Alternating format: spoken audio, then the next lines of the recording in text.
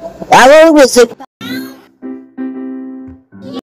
They love to play with each other.